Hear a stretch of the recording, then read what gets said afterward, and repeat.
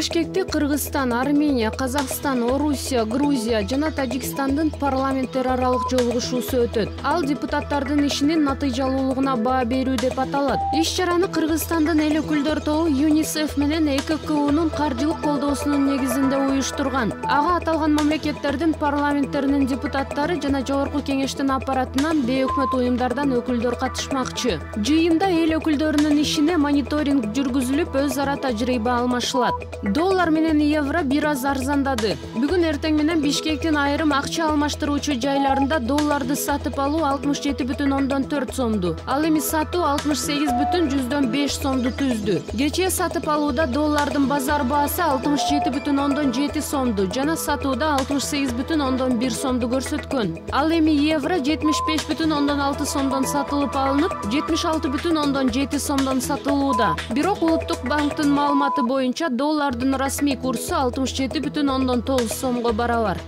он төртүнчү июнь кан берүүчүлөрдүн эл аралык күнү. Ага карата бүгүн ордо калаа бишкекте донор күнү акциясы уюштурулат. Эс алуучу борборлордун биринде өтө турган акцияда донорлорго болгон муктаждык тууралуу элге түшүндүрмө берилет. Бул тууралуу республикалык кан борборунун директору бакыт карабаев билдирди. Анын айтымында башка мамлекеттерге салыштырмалуу кыргызстанда кан донору жетишпейт. Дүйнөлүк саламаттыкты сактоо уюмунун сунушу боюнча ар бир миң адамга кырк алтымыш донор туура келиши керек. Бирок кыргызстанда миң адамга беш жети донор гана туура келет дейт ал. Өлкөдө азыр төрт миңге чукул ардактуу донор бар. Аларга айына миң сомдон жөлөк пул берилип турат тазалык жана жашылдандыруу муниципалдык ишканалары шаардын баардык аймактарында чөптөрдү кыркуу ирригациялык системаларды тазалоо көчөлөрдү көрктөндүрүү иштерин жүргүзүүдө. Мындай маалыматты бишкек мэриясы таратты. Ага ылайык учурда каралаев ахунбаев фучик карпинская фрунзе тоголок молдо көчөлөрүндө чөптөр кыркылып ирригациялык системалар тазаланып көчөлөр көрктөндүрүлүүдө. Андыктан бишкек мэриясы шаардыктарды жана шаар меймандарын тазалыкты сактоого гүлдөрдү үзбөөгө таштан кагаздарды таштабоого муниципалдык ишканалардын кызматкерлеринин эмгегин баалоого чакырат.